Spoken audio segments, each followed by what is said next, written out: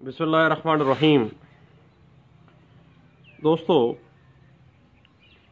Examination in chief के बाद cross examination का आगाज़ होता है। क्रॉस एग्ज़ामिनेशन बुनियादी तौर पर एक आर्ट है और एक वकील को इस आर्ट के ऊपर मास्टर होना ज़रूरी है। जिरा जो है, इसके बारे में आम तौर पे कहा जाता है कि ये दो दारी तलवार है। कानून एक वकील के हाथ में क्रॉस एग्जामिनेशन का राइट देकर एक ऐसा हथियार थमा देता है जिसका इस्तेमाल इंतहाई एहतियात के साथ किया जाना चाहिए, क्योंकि आम तौर पर इस बात का बहुत ज़्यादा इम्कान होता है कि एक वकील का गवाह पर किया गया कोई सवाल, शायद उस गवाह को तो कोई नुकसान ना पहुँचाए, लेकिन उल्टा उस वकील की पार्टी के लिए वो सवाल ख़तरनाक हो सकता है। फ़र्ज़ करते हैं कि अगर मुलजम का वकील इश्तगासा का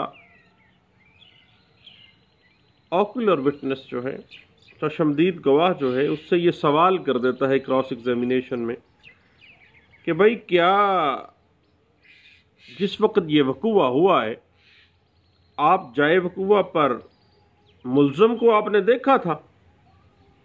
अब बड़ी टेक्निकल सी बात है कि बंदा जिरा किया जा रहा है, वो गवाह, जो कि चश्मदीद गवाह है, और वकील साहब ये सवाल कर दें क्रॉस एग्जामिनेशन में कि क्या मुलम को उसने उस वक़्त जाए वकूआ पर देखा है? तो मुलम कह देगा, जी, मैंने देखा है। तो ये सवाल उस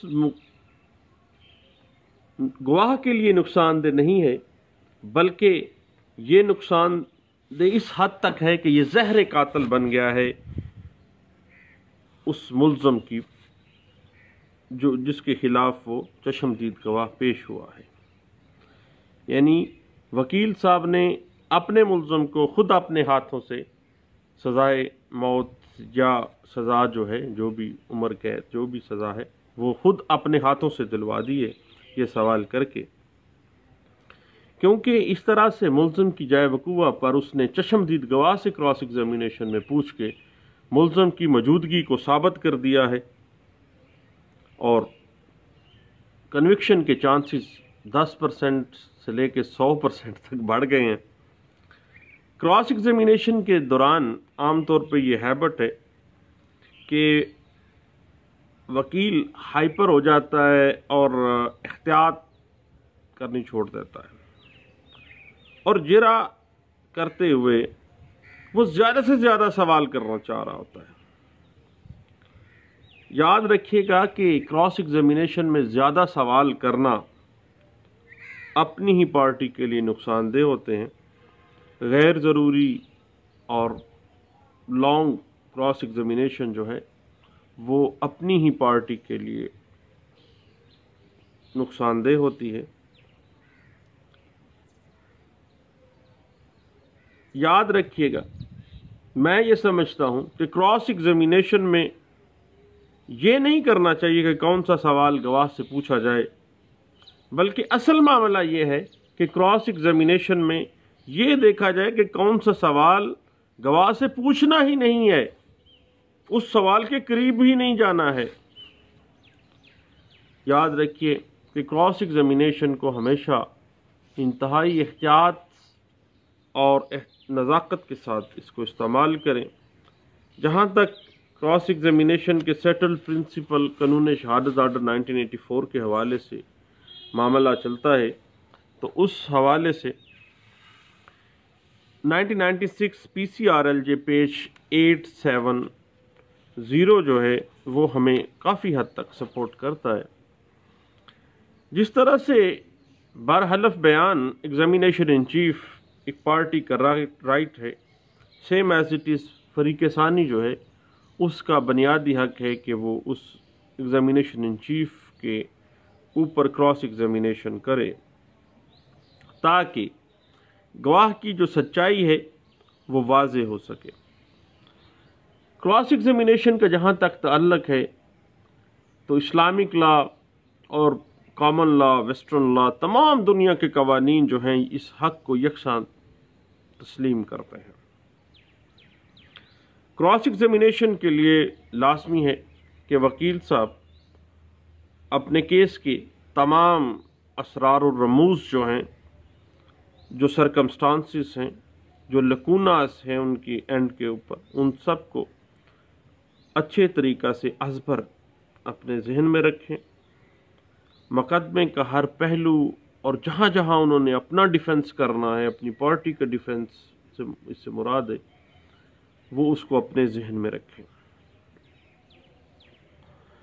और ये बात अपने जहन में रखें कि क्रॉस एग्जामिनेशन में वकील साहब ने गवाह के मुँह से क्या बात निकलवानी है, जिस बात से उस बयान जो गवाह ने दिया है वो मशकूक साबित किया जा सके। और क्रॉस एग्जामिन करने वाला अपनी फेवर में उस बयान को इस्तेमाल कर सके। क्रॉस एग्जामिनेशन के लिए एक वकील को बहुत ज़्यादा विजिलेंट होना चाहिए। उसको जहन में रखना चाहिए कि जो सवाल वो गवाह से कर रहा है, उससे वो क्या मकसद हासिल करना चाहता है। मैं तो ये कहूँगा कि क्रॉस एग्जामिनेशन का मकसद जो है, एक वकील ने जो मुतन करदा टारगेट रखा है, जो गोल रखा है कि मैंने अपने गव, ये गवाह जो है, इससे ये बात मनवा, उसके मुँह से गुलवानी है, सिर्फ़ उसकी हद तक होना चाहिए। जो ही टारगेट अचीव हो गया, फ़ाइल बंद, क्रॉस एग्जामिनेशन ख़त्म। इसको तवील ना करें ये ना सोचें कि पार्टी पीछे खड़ी ये कह रही होगी कि वकील साहब ने जरा बहुत थोड़ी की है। सिर्फ़ और सिर्फ़ विजिलेंसी का मजाहरा करें। जो ही क्रॉस एग्जामिनेशन का मकसद आपका टारगेट अचीव हो जाए, फौरी तौर पर रुक जाएँ और उसके बाद कोई किसी किस्म का कोई ऐसा सवाल ना आ जाए सामने कि पिछला सवाल जो है उसकी अहमियत ख़त्म होकर रह जाए। अपना टारगेट अचीव करें और बस क्रॉस एग्जामिनेशन को वहीं पे बात ख़त्म करते हैं।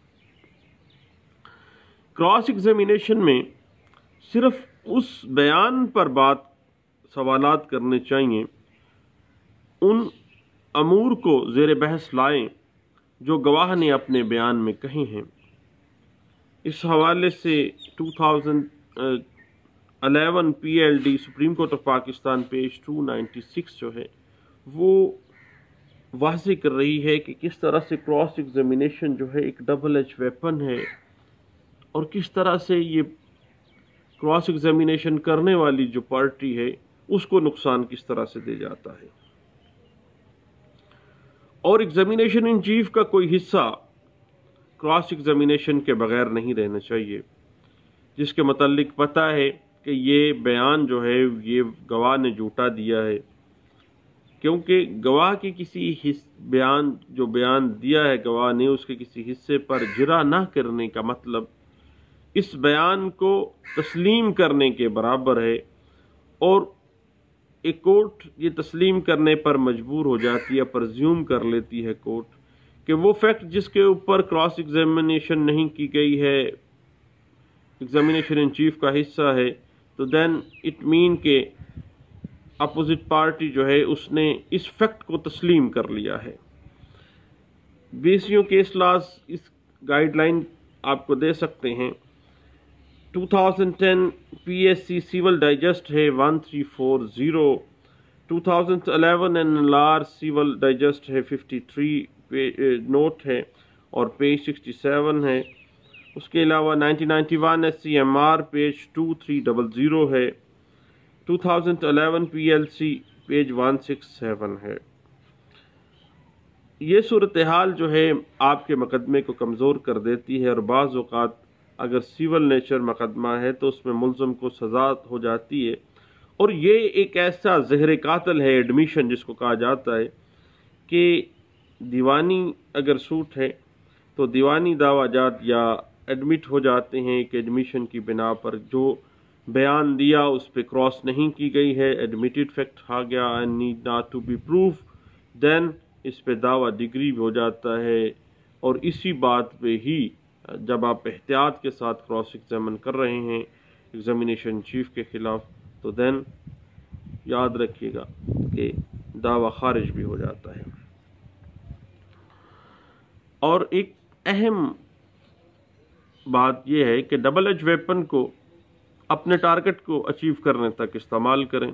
जो ही क्रॉस एग्जामिनेशन में आपका मकसद हल हो गया है, मज़ीद कोई सवाल ना करें। पहले भी बात की कि किसी मुकदमे में गवाह चशमदीद गवाह के तौर पर पेश होता है तो आप उससे ये सवाल कर सकते हैं मुलम की मौजूदगी के हवाले से कभी भी सवाल ना करें। आपका सवाल कि आपको इस वकूआ के बारे में किसने बताया था? गवाह का जवाब आ जाता है कि तमाम वकूआ मुझे कंप्लेनेंट ने बताया। देन फाइलें बंद कर दें। क्रॉस एग्जामिनेशन का जो टारगेट था, वो आपने अचीव कर लिया है। जो क्रेडिबिलिटी ऑफ़ विटनेस थी, वो आपने शटर कर दी है। जब उसने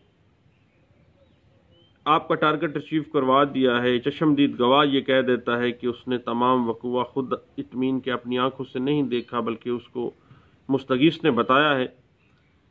तो उसने क्रॉस एग्जामिनेशन में गोया ये बात साबित कर दी है कि वो हेयर से एविडेंस का सहारा ले रहा है। और आपको पता है कि सटल प्रिंसिपल है कि हेयर से एविडेंस इज़ नो एविडेंस यानी आप क्रॉस एग्जामिनेशन में एक बड़ा अच्छा टारगेट अचीव कर चुके हैं। आप यहीं पर रुक जाएँ। याद रखिएगा कि चशमदीद गवाह के ऊपर जब भी जरा करें क्रॉस एग्जामिन करें इंतहाई एहतियात के साथ, और उसकी एविडेंस को हेयर से एविडेंस में जब आप कन्वर्ट करते हैं, किसी डायरेक्ट एविडेंस को आप इनडायरेक्ट में ले जाते हैं तो आप अच्छा टारगेट अचीव कर लेते हैं। इस हवाले से मैं रिकमेंड करूँगा कि 2011 S C M R page one three four nine एक बड़ा अहम केस है। क्रॉस एग्जामिनेशन जो कि चशमदीद गवाह के हवाले से, इसको आप ज़रा देख लें। और क्रॉस एग्जामिन करते हुए वकील को अपने टारगेट के ऊपर तवज्जो देनी है। और क्रॉस एग्जामिन में गवाह से ऐसे सवाल करने चाहिए जो महालफ फरीक के मौक़ की तरदीद और आपके मौक़ की तायद करें। गवाह से कभी भी मुबहम किस्म के सवाल नहीं करने चाहिए। क्योंकि वाज सवाल का वाज जवाब और मुबहम सवाल का मुबहम जवाब आ जाता है। आपका टारगेट अचीव होना बड़ा मुश्किल हो जाता है। ख़ास तौर पे क्रिमिनल साइड में गवाह का जो करेक्टर है वो बड़ा रेलिवेंट होता है, जबकि अगर सिविल मुकदमात हैं तो उसमें गवाह का जो करेक्टर है, उस वो रेलिवेंट नहीं होता, उसको ज़्यादा अहमियत नहीं दी जाती है।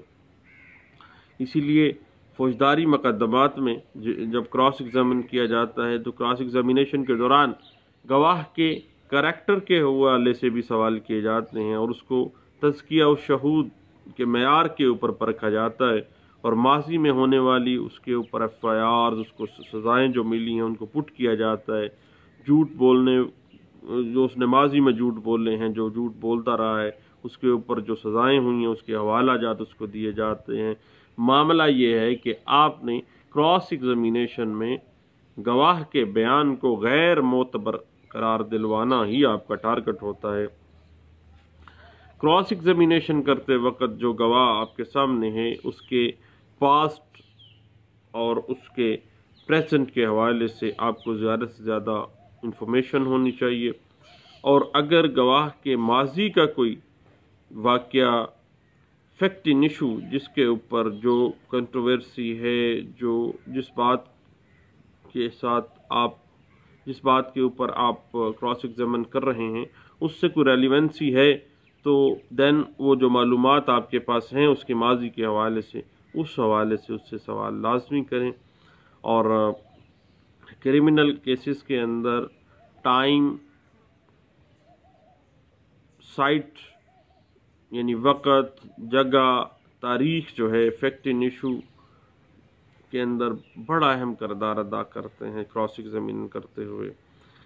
इसलिए जब भी इस्तगासा की कहानी और गवाहान के बयानात में कंट्राडिक्शन आपने क्रिएट करनी है, तजाद पैदा करना है तो जगह, तारीख और वक्त के बारे में सवाल इस अंदाज से करें कि जवाब देने वाला आगे पीछे हो जाए और गवाहान के बयान में अगर तजाद आ जाता है तो आप महाल फरी के मुकदमे को कमज़ोर करके अपना मौक़ मज़बूत बना लेते हैं, आप अपना टारगेट अचीव कर सकते हैं। गवाह के बयान के ऊपर क्रॉस एग्जामिन करना फ्री किसानी का एक बुनियादी हक है। कोर्ट्स कभी भी इस हक को सलब नहीं करना चाहती हैं। और, क्रॉस एग्जामिनेशन की अदम मौजूदगी में इंसाफ मुमकिन नहीं है। और क्रॉस एग्जामिनेशन के बग़ैर कोई अगर बयान है तो हायर कोर्ट्स जो हैं, आला अदालतें जो हैं, वो हमेशा ऐसे बयान को मशकूक समझती हैं। इसका मतलब ये नहीं है कि जरा करने वाला फरीक जो है गवाह की इज़्ज़त नामूस और उसके करदार की दचियाँ बखेर के ही अपना टारगेट अचीव कर देता है। अब याद रखिएगा, इस हवाले से पिछले दिनों एक केसला साहब ने आता है 2012 सी एम आर पेज है 954 है और उन्नीस सौ बानवे M L D page eight one zero है। कानून शहादत आर्डर 1984 आर्टिकल 144 के अंदर ये इंटरप्रेट किया गया है कि जो सवालात आपने क्रॉस एग्जामिनेशन में करने हैं, वो माकूल होने चाहिए और इन सवालात के पीछे कोई ना कोई लॉजिक होनी चाहिए। और जो सवाल आप क्रॉस एग्जामिनेशन में कर रहे हैं 134 जो है, कानून शहादत आर्डर 1984 वाजे कर रहा है। कि वो इरेलीवेंट ना हो, बल्कि वो फैक्ट इन इशू जिसके ऊपर आप डिस्कस कर रहे हैं आर्टिकल 134 कहता है कि वो उससे मुतलका होनी चाहिए। यहाँ तक कि अगर किसी गवाह के करैक्टर के ऊपर आपको तनकीद करनी है तो ठोस बुनियाद पर होनी चाहिए। खाम हा में किसी को के करदार कशी करके आप अपने टारगेट्स को अचीव नहीं कर सकते। किसी के ऊपर तहमत लगा के आप कोई मार का नहीं मार सकते हैं। याद रखिएगा कि क्रॉस एग्जामिनेशन से पहले जो एग्जामिनेशन इन चीफ है गवाह का, उससे मुतलका ही क्रॉस एग्जामिन होनी चाहिए। उसके एन मुताबिक होना चाहिए। क्रॉस एग्जामिनेशन में गवाह जो है, वो फैक्ट जो प्लीडिंग का फैक्ट है, जो असल हकीकत है, उससे बाहर नहीं जा सकता। क्रॉस एग्ज़ामिनेशन जो है, एग्ज़ामिनेशन इन चीफ के नस्बत बहुत ज़्यादा वसी है और क्रॉस एग्ज़ामिनेशन में बयान की नस्बत, क्रॉस एग्ज़ामिनेशन के जो क्वेश्चंस हैं, मौजू से हट कर भी किए जा सकते हैं, उसके करैक्टर के हवाले से किए जा सकते हैं। लेकिन एक बात बड़ी अहम है कि चूँकि क्रॉस एग्ज़ामिनेशन एक डबल एज वेपन है और, जब भी आपने सवाल करना है तो क्रॉस एग्ज़ामिनेशन के सवालात जो हैं, वो फैक्ट इशू जो है, उसके फ़ैसले में मदद करें। स्कैंडल वाले सवाल ला मैनी सवालात इरेलीवेंट सवाल जो हैं, वो करने से आप कोई अच्छा टारगेट अचीव नहीं कर सकते हैं।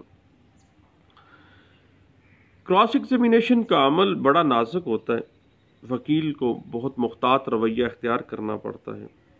अपने केस को मद्देनज़र रखते हुए गवाह के बयान के ऊपर सवाल की सेंगटिटी को पेश नज़र रखते हुए आपने जहनी तौर पर इस बात का पूरा शौर रखना है कि जो सवाल गवाह से किया जा रहा है, अगर उसका मुस्बत जवाब आ जाता है तो उसके इफ़ेक्ट्स क्या होंगे?